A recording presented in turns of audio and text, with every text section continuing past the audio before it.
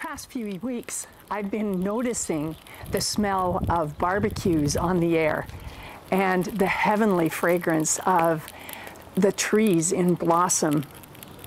This week, we are celebrating Pentecost in the church. It's also known as the birth of the church. The Holy Spirit, now as then, burns with a fire and a wildness that cannot be contained. Welcome to worship. I'm Denise Davis Taylor in diaconal ministry with St. Paul's United. This church is an affirming church, affirming the beauty and value of all people. And we are grateful to meet on the Treaty 6 land, the traditional lands of the Nakota Sioux, the Dene, the Cree, the Blackfoot, and the homelands of the Métis people. Um, Holy Spirit is moving in Swahili. Um, tunasema Roho Mtakatifu shuka na utembee. mwoyo mutukuvu atambula mweya mutsvene uri kufamba omwoyo omutukuvu gukulukutira mu ffe omwoyo ligwera aliyo n'atambula L'Esprit Saint est en mouvement. El Espíritu Santo se mueve. 圣神降临， Святой Дух наполняет. Uh, and in my first language, that is the Kikuyu language, uh, we say Roho Mutheru uh, shuka na we atararie. Roho Mutheru shuka na we athararie um, so thank you so much friends and uh, span family uh, y'all have a beautiful day bye bye Holy Spirit is moving.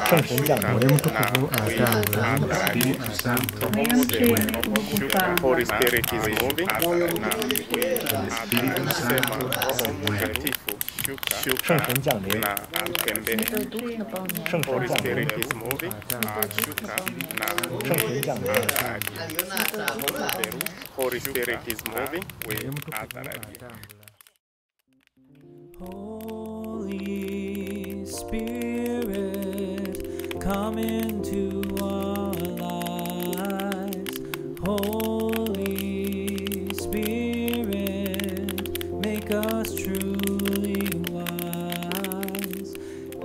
A spirit of wisdom and understanding heart.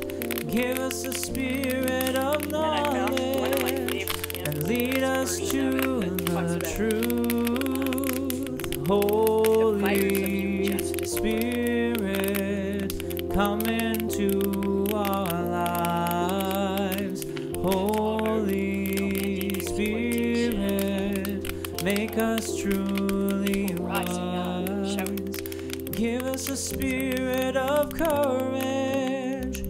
judgment that is wise. Give us a spirit of reverence, of wonder and of awe.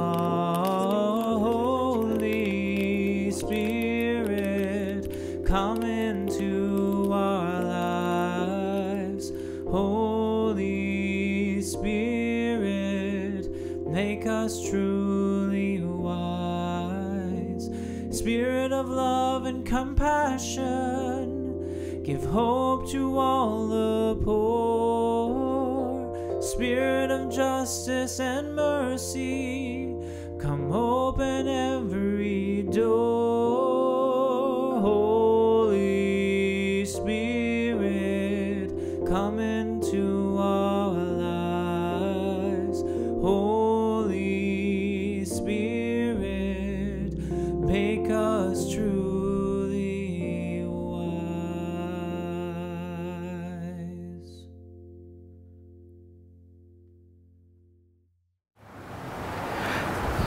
This year, we are working together to control and stop the spread of the COVID virus, and it has forced us into a new way of living. For Jesus' disciples at the time of the Pentecost, they were moving into a new way of being. The story of Pentecost has much wisdom to offer us in these times. For my Bible reading today, I'm going to be reading from Acts, section 2, verses 1 to 21. The Holy Spirit comes at Pentecost. When the day of Pentecost came, they were all together in one place. Suddenly, a sound like the blowing of a violent wind came from heaven and filled the whole house where they were sitting. They saw what seemed to be tongues of fire that separated and came to rest on each of them. All of them were filled with the Holy Spirit and began to speak in each other's tongues as the Spirit enabled them. Now they were staying in Jerusalem, God fearing Jews from every nation under heaven. When they heard this sound, a crowd came together in bewilderment, bewilderment because each one had heard them speaking in his own language. Utterly amazed, they asked, Are these not all the men who are speaking Galileans? Then how is it that each of us hears them in, our, in his own native language?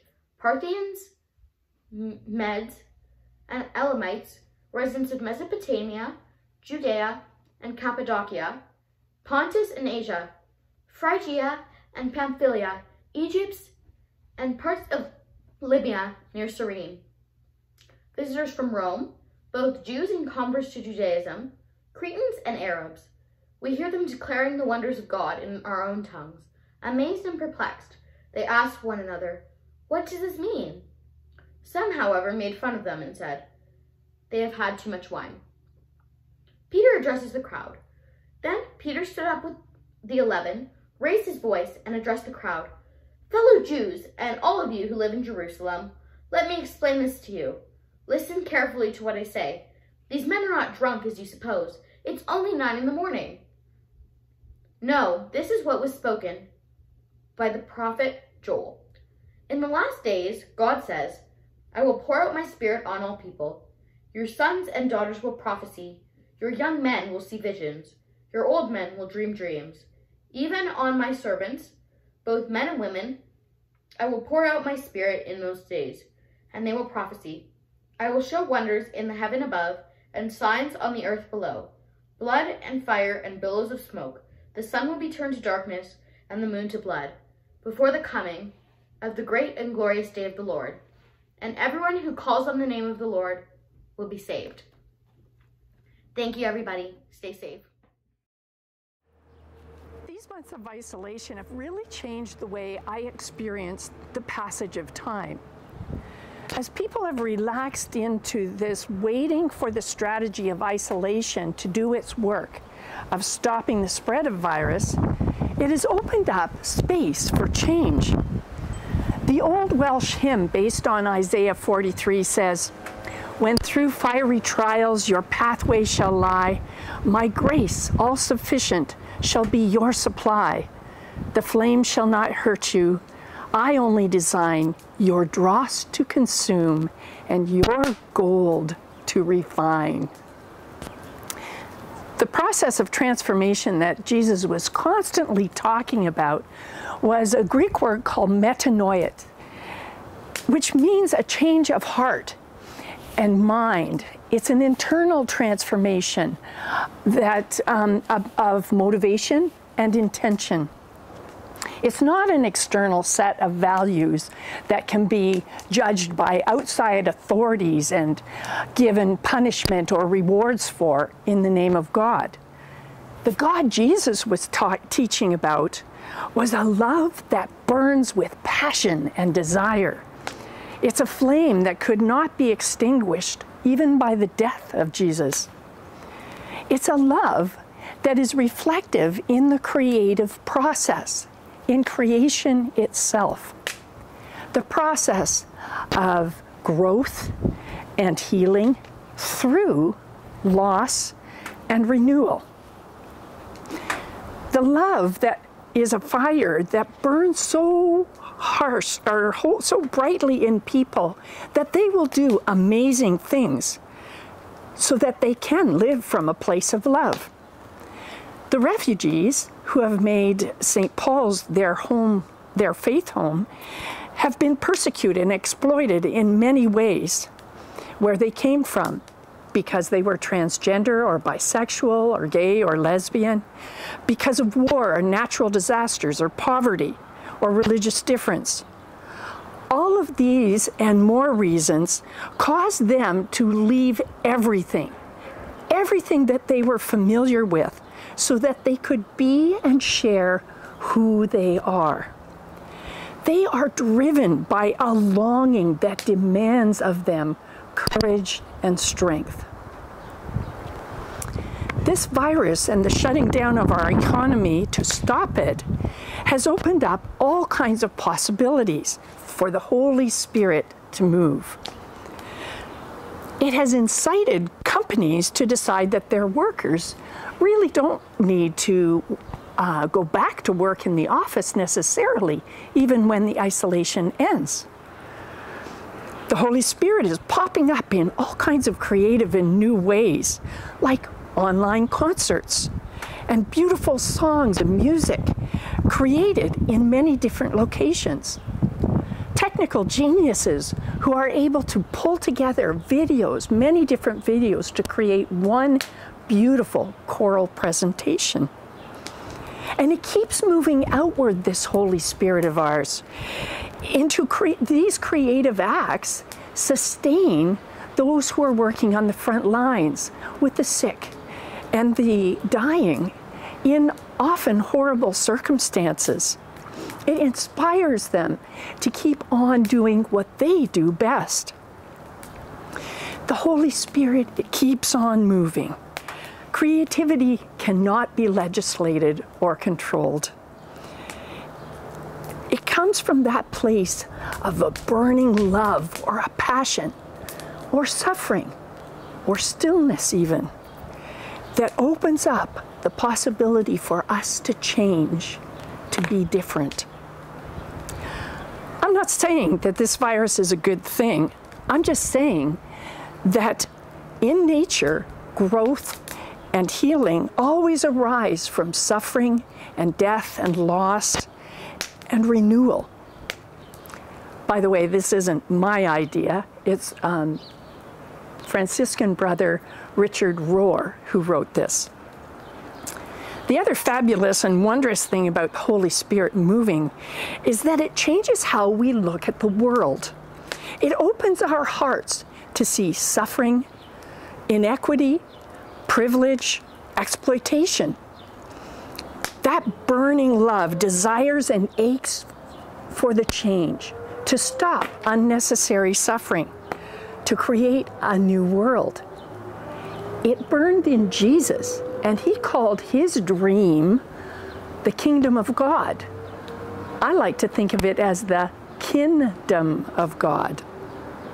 A dream of beauty and wellness and opportunity for all beings, all people, all creatures, great and small, all plants, the water, the earth, this, the planet that we call home. This time we are living in, as many others before, before it, is causing destruction. And the Holy Spirit keeps moving. Those flames that burned around the heads of the disciples at Pentecost, that caused them to speak in different languages and understand them, now brings the possibility to clear away all that destroys our well being.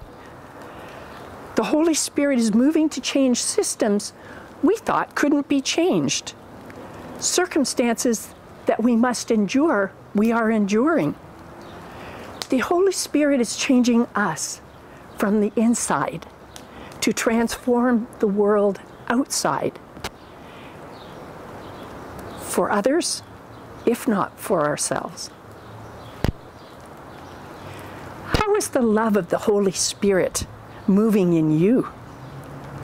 How is that fire refining you?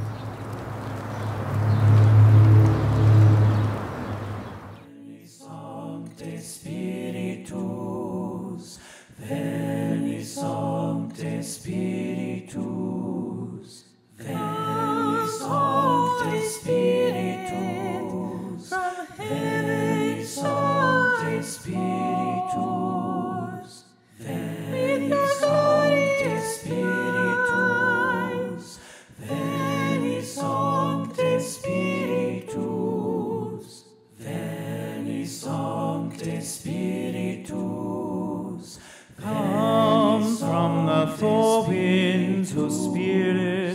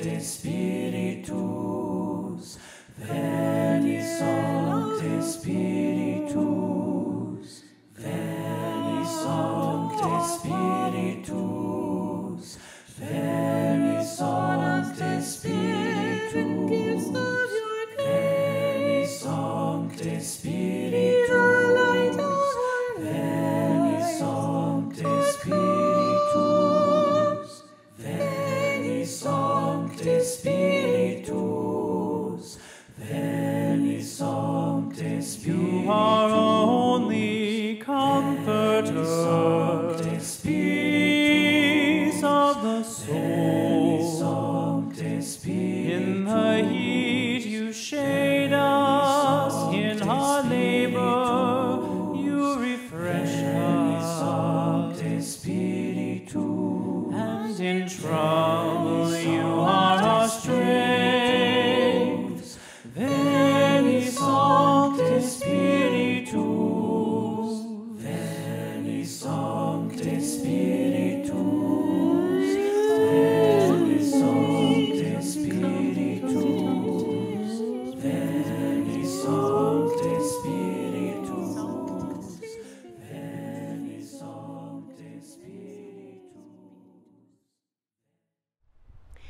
Holy Spirit is moving.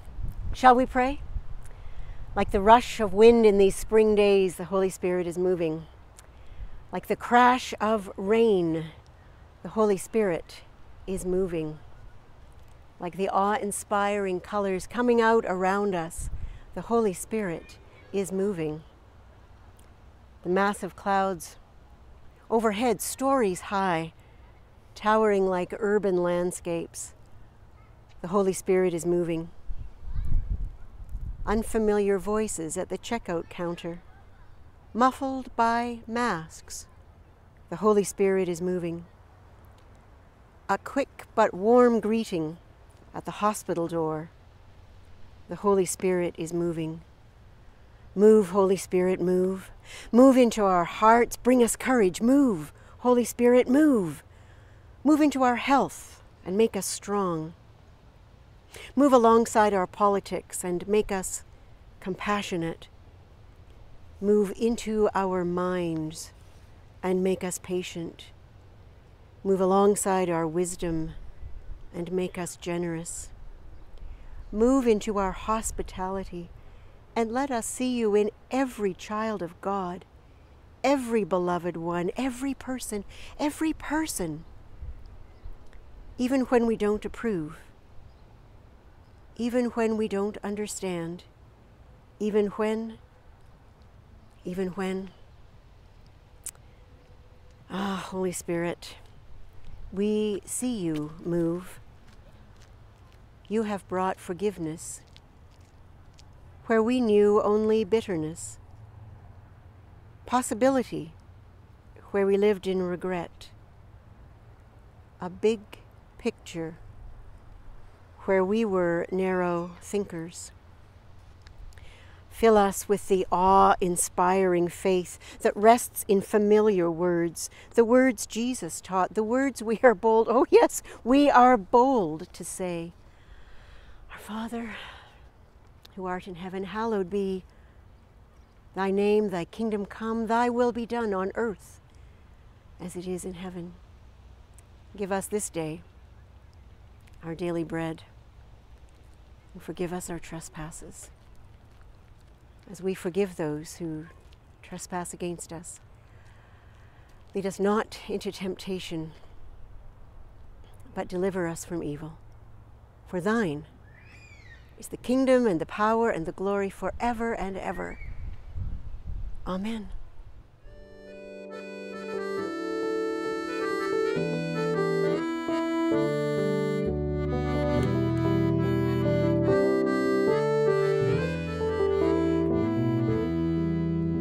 My soul cries out with a joyful shout that the God of my heart is great. And my spirit sings of the wondrous things that you bring to the ones who wait. You fixed your sight on the servant's plight, and my weakness you did not spurn. So from east to west shall my name be blessed, could the world be about to. My heart shall sing of the day you bring, let the fires and the of your justice burn. Wipe away all tears, for the dawn draws near, and the world is about, about to turn. Oh, I am small, my God, my all, you great things in me. And your mercy will last from the depths of the past to the end of the age to be. The proud to shame, and to those who would foreign. You will show your might, put the strong to flight, for the world is about to turn. My heart shall sing of the day you bring, let the fires of your justice burn. Wipe away all tears, for the dawn draws near,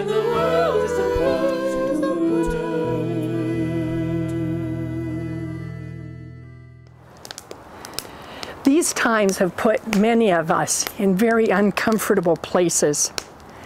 Trust that even and especially there, the Holy Spirit is moving in you and with you, pulling you through, carrying you even. God's love is always moving us toward an unfolding future that will be good. Amen.